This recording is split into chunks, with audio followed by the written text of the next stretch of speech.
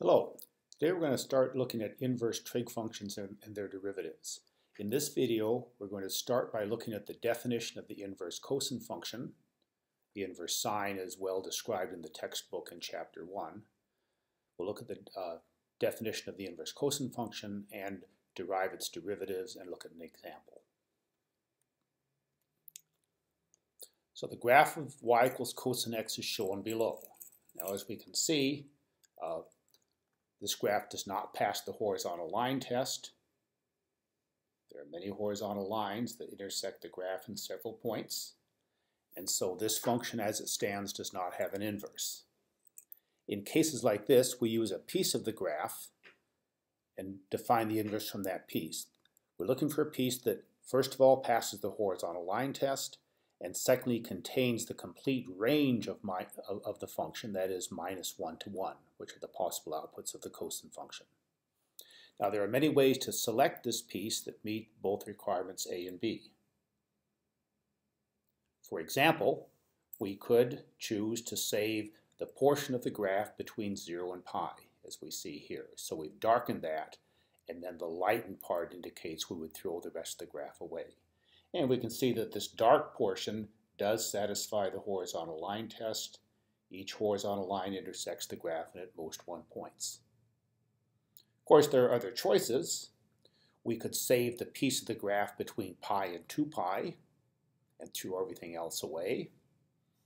Or you could get very creative and maybe save the piece between minus 3 pi over 2 and minus pi which is shown here, and the piece between minus pi over 2 and 0, which is there. We've also made an open dot at uh, minus 3 pi over 2 so that we don't duplicate points along the x-axis. So even if we draw our horizontal line along the x-axis, we only intersect in one point. The open dot indicates no intersection point here, but one there. So there are many, many ways to save a piece of the function that satisfies these two criterion A and B. Now mathematicians and scientists have come to some agreement and we choose uh, when we talk about the in, when we want to talk about the inverse cosine function to work with the piece of the graph between 0 and pi. Okay. And we can use this piece then to define the inverse cosine function. We say uh, for a given number b between minus 1 and 1. We can kind of see that here on the graph. Okay. We want to get a value of a for which the cosine is b, and if we move horizontally from b to the graph and then to the axis, we get such a point a. And so we're going to define inverse cosine of b to be a, where first of all a is between 0 and pi, we see here. And the cosine of A is equal to B. We're going to use the uh, notation cosine with an exponent minus 1b to indicate the, the inverse function. And so again, we want to remember that cosine inverse b, this is the inverse function. This is never to be read or interpreted as 1 over cosine b. So we're definitely not going to do that. Okay. If we want to write 1 over cosine b, you'll always see this written as cosine b quantity to the minus 1 power. So we know that once we have a function that has an inverse, we can find the graph of the inverse by reflecting this piece of the graph in the line y equals x. And we've done that in this uh, next illustration here. So the black graph in this picture is the cosine graph between 0 and pi, and the reflection given the inverse function gives us the inverse cosine graph. And we can see by looking at the red graph here, and we can see that it's over the x-axis part between minus 1 and 1. So this illustrates the fact that the domain of the inverse cosine function is all x's between minus 1 and 1. And we can see the range by looking at the y values that go along with the graph. They're between here and here. And that range then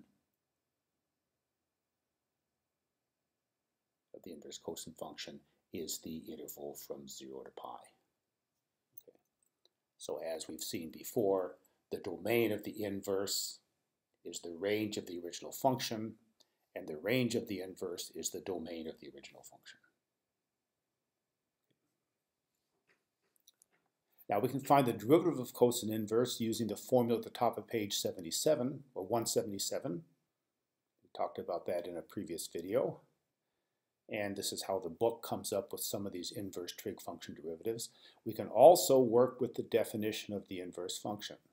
So let's take a look at y equals cosine inverse of x. And again, we assume we have an x between minus 1 and 1, and the output, the y, is between 0 and pi.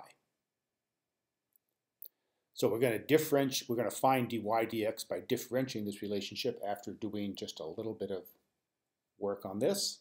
So uh, we're going to take the cosine of both sides and, and use the definition of the inverse. So if I take cosine of y on the left, and then on the right, we get cosine of cosine inverse. And of course, if you combine a function with the inverse, it just gives you back the original input in that composition. So the cosine of cosine inverse turns out to be x. We'll now use implicit differentiation. We're thinking of y as a function of x. So we differentiate both sides with respect to x because our goal is to find dy dx. So we get d dx of cosine y equals d dx of x. And if we use the chain rule to differentiate cosine of y, remember this is a composition, y is a function of x, we get the derivative of the cosine is minus sine of y and then times what's inside the cosine function, the dy dx.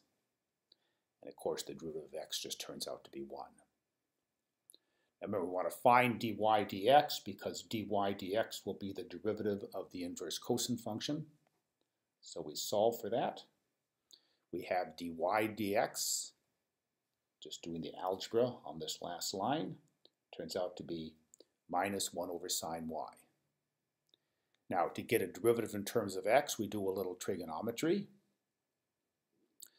We know that from uh, the relationship sine squared y plus cosine squared equals 1, that we can write the sine of y as plus or minus the square root of 1 minus cosine squared y.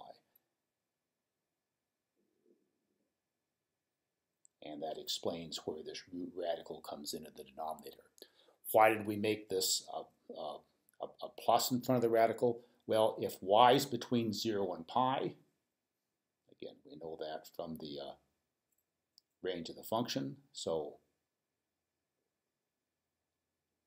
y is between 0 and pi, and so we know that for such y, the sine is non-negative, and so that means we're going to stick with the plus sign down here.